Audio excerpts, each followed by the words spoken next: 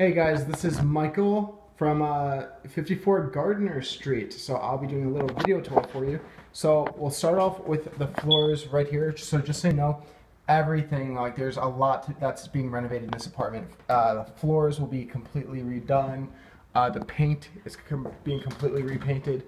And I'll show you some bedrooms, but uh, they all have very, very good size. So you could already see they started to do the paint. And even the uh, kitchen will have completely new luxury finishings that look absolutely beautiful. Let me show you the uh, bedrooms first. They have a huge price ranges, uh, go, all, going from all the way like five or six hundred to all the way to thousand. For example, this one is a thousand. This one is absolutely enormous. It has you know those huge bay windows, the curved wall, and you know that's a huge queen size bed, and there's still plenty of room. This person just has like a lot of stuff, but there's plenty of room in here. This is just really an extra office, but you know, if anyone did want to live in here, it is very small, so they would only expect you know like five or six hundred bucks. So, but no, you don't need to be in there. It's just a budget option. Um, okay, moving on. Here's another room. This one I believe will be, be somewhere between eight uh, and eight fifty. So it's a good size. It could fit everything you need. Uh, here is a room, this will be 900, this is the first one I showed you. So really a good amount of space here, closets right there.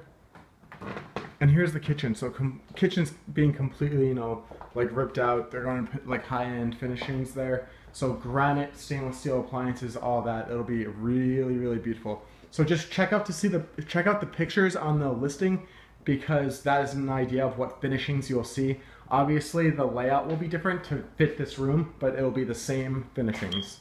So you know, the countertops, the sink, like that kind of stuff. And here is another mid-size room. So again, this will range somewhere between 800 and 850. It extends out to the left, closet space right there, and it's just long. It goes out this way, so you can fit everything you need. Uh, this right here, this is being taken care of for after 9-1. Uh, they will either, you know, they're still trying to decide how they're going to use it. It might become a second bathroom, which would be nice. Um, other than that, let's see. Again, I mentioned the floors were being redone.